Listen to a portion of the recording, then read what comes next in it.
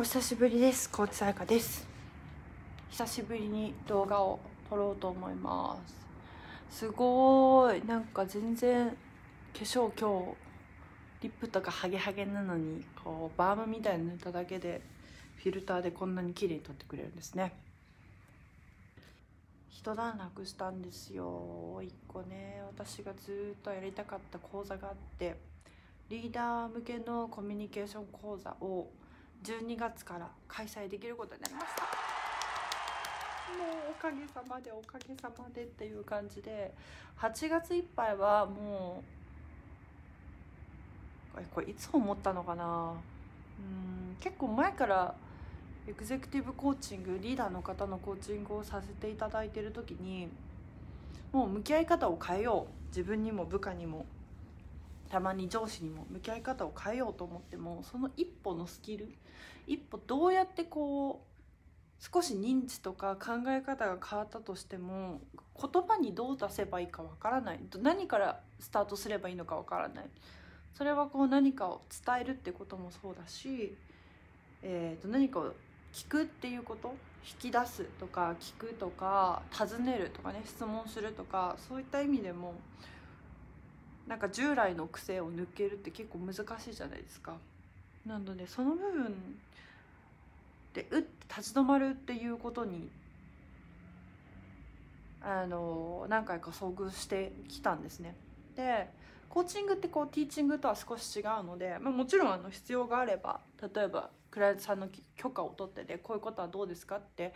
あの「How to」とかやり方とか特に私が今までやってきたブランディングの文脈だったりとか、えー、と PR の文脈っていうところでご提案する時もたまにあります。リクエストされたりまた別途でねやる時もあるんですけどあのそういったこう日々の日常の、えーとコミュニケーションに関してってなかなかそのインプットする機会がなかったりすごい些細なことに見えるんですよねでもそこが実は関係性が変容する入り口なんだけどそこの一歩が踏み込めない踏み込みたいって気持ちはマインドセットしたのにっていうことがあったのよねずっと。でうん今年の8月こっちに帰ってきた来てからあやろうって思って9月8月後半から9月いっぱいはめちゃめちゃその講座の内容を作ってました。でこの1ヶ月ほぼ売り上げなかったんじゃないかな。なかったと思います。けどなんかやもうやんなきゃと思って作りしこしこ作ってですね。でかつそのどうやって皆さんにご紹介していくかっていう時にきちっとオリエンテーションをやってどういうマインドセットでここの講座に来ていただきたいかっていうのをお伝えしてでその上であの取り組みたいっていう方にご提供しようと思ったのでそのオリエンテーションのね内容の作成にもすごく時間をかけていました私なりに。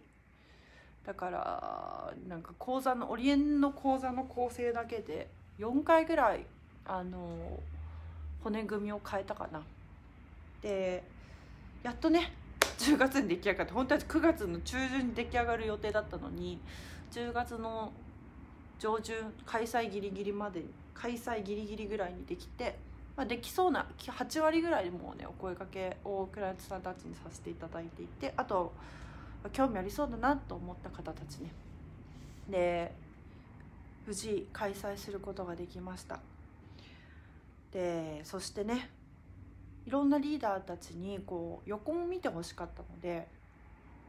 あの違う環境の中でリーダーとして活躍してる方がどんなことで悩んでてどういうふうにこの社内の仕組みだったりとか部下育成っていうところを、えーと、理解していてどのように試みているかっていうのもすごく大切なあの経験資産っていうのがそれぞれお持ちなのでそういったところもねできる限りこうミングルしてできるような講座がしたかったのであの6名最低6名でやろうかなと思っていたところを本当におかげさまで10名集まりました。もうね本当に嬉しかったのよ。すごい嬉しかった。ほっとしたしずっとやろうと思ってたのかな、まあ、どっかでやらなきゃって思わされる機会が多かったものがやっとスタートできそうでとっても嬉しいです。あの人を育むコミュニケーションっていう、えー、タイトルで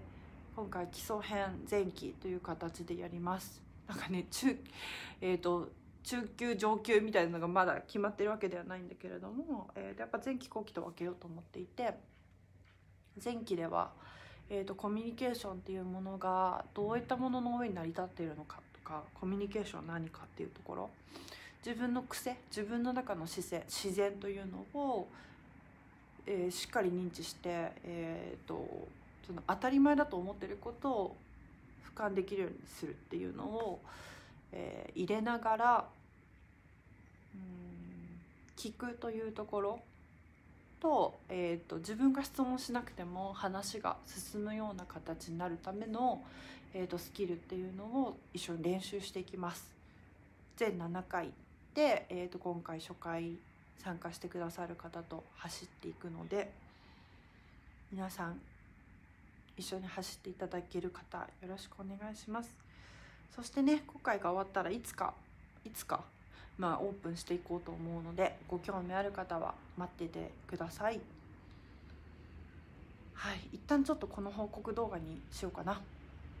ご視聴ありがとうございます。あのー、しばらくちょっとね上げていこうかなと思うのでチャンネル登録しがいがあるよって思ってもらえるように頑張ります。ではね。